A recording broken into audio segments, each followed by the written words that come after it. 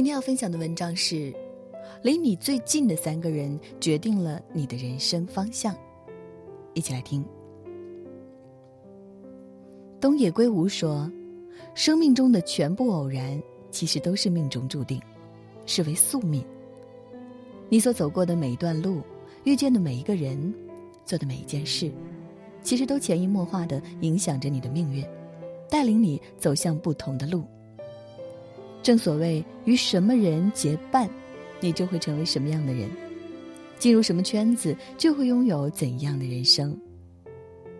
荀子《劝学》里写道：“逢生麻中，不服自直；白沙在涅，与之俱黑。”意思是说，蜂草长在麻地里，不用扶持也能挺立住；白沙混进了黑土里，就会变得和土一样黑。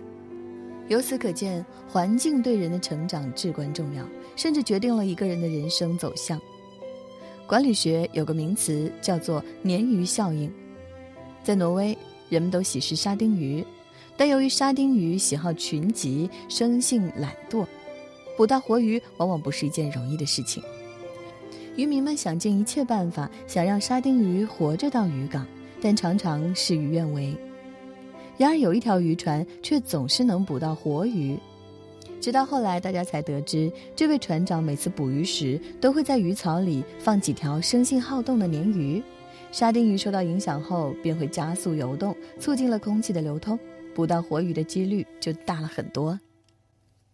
人也是如此，天生就有惰性，有的人因为心里有一个明确目标，所以靠自律就戒掉了很多坏习惯。但有的人变得更好，却是因为经历了一件事，或者遇见了一个优秀的人。前段时间，西北大学的一个学霸寝室上了热搜。本科四年里，住在一个寝室的六名女生，共获得十六余万的奖助学金。毕业前，六人全部考研或保研至名校。大家羡慕地说：“选对宿舍很重要，选对室友更重要。”同样登上头条的还有一对博士情侣，于苑和黄佩森，同时毕业于清华大学医学院。两人从研一到如今相恋五年，打算下半年结婚。于苑对着镜头笑着说：“因为彼此陪伴，做科研时才不会枯燥。有一个积极上进的人在身边，他会陪伴你走向更大的世界，看到更广阔的天地。而那时，你一定会因为有这样的伴侣而更加努力。”所以，不论是恋人、朋友、同事、家人，真正优秀的人，最终都是彼此成就。与智者同行，路自然宽；与高人为伍，走得更远；与凤凰同飞，必是俊鸟；与虎狼同行，必是猛兽。优秀的人就像太阳一样，为你带来光芒。当你逐渐适应了明亮，就再也不想回到黑暗中去了。知乎上有人提问：“什么是做人最重要的品质？”看到一个高赞回答说：“遇到事情靠得住，责任面前有担当，信用永远是第一。”归根结底就是两个字：靠谱。股神巴菲特在一次交流会上讲过一个小测试，他问学生：“如果让你选择买进某个同学百分之十的股份，你会选择谁？”正常情况下，你不一定会选择最聪明的。也不一定是精力最充沛的，也不是家庭条件最好的，但很有可能会是最诚实的，可以实现他人利益的人。如果让你卖出某个同学的百分之十，你不一定会选择成绩差的，也不是最穷的，大多时候你一定会选择那个过河拆桥、喜欢耍阴谋诡计、毫无诚信的人。所以，能力的强弱、财富的多少、智力的高低等等，都不一定是衡量人最重要的标准。无论是生活上还是工作中，和靠谱的人共事，才能求得安心。当你落魄之时，他总会倾囊相助；当你遭人诬陷时，他总是信任你的那一个；当你遇到突发情况时，他定会陪你一起担当。不在你盛名时慕名而来，也绝不会在你低谷时转身离开。言出必行，行必有果；以心换心，必得回报。网上有句流传已久的话：“所谓靠谱的人，就是凡事有交代，件件有着落，事事有回音。成年人的世界，人心深不可测，能遇到一个可靠的朋友实属不易。若有幸相伴，一定要珍惜。廖一梅的书里写着：“人这一生遇见爱，遇见性，都不稀罕，稀罕的是遇见了解。”网上曾有人发起一个投票，不论结婚还是交友，你觉得必要条件是什么？最终票数最高的是三观相同，彼此理解。与一个不懂你的人相处的日常是什么样的？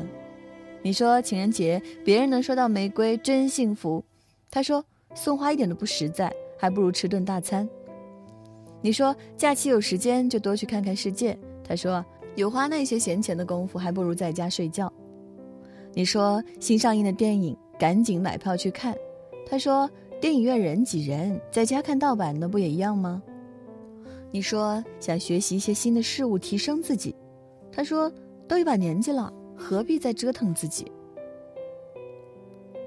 罗宾威廉姆斯说：“我曾以为生命中最糟糕的事就是孤独终老，其实不是，最糟糕的是与那些让你感到孤独的人一起终老。”世间所有的事都可以去救，唯独感情不能将就。人生不过短短三万天，不如与一个知你冷暖、懂你悲欢的人在一起，远离那些让你心力交瘁的人。知否知否，热播时，网上热议：小公爷的家庭背景如此显赫，而且他那么喜欢盛明兰，婚后也一定会百般宠爱她，为何明兰最后却选择了顾延烨？很赞同一个回答：恋爱时有人宠着就足够了，但婚姻要找的是一个你不说他全都会懂，你的想法他会理解并且支持你的人。显然，明兰没有选错，结局收获美满幸福。晚婚里唱道：“我在等世上唯一契合灵魂。”你在朋友圈分享了一篇文章，没几个人点开看，但你发了一组生活照，却收到了无数点赞。其实，更多的人只会关心你的外在，而极少有人去在意你的喜好。而这少部分的人，就显得弥足珍贵。